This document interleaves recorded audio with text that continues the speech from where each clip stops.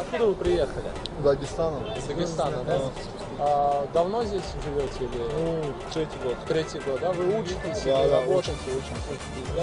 А, скажите, пожалуйста, а почему вот вы уехали из Дагестана? Там нет работы, там плохое образование или Нет, просто своих бить не хотим. своих? Да. Хотите быть местных? Да. Они должны понять то, что там мы какие люди, да, у нас какие законы.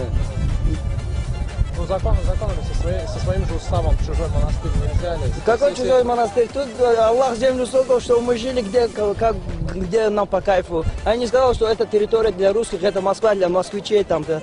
Поэтому не- нам где по кайфу, мы должны там жить. Есть, И э, по своим должны- законам где, да. Новичок и молодых Москва для русских? Нет, это неправильно.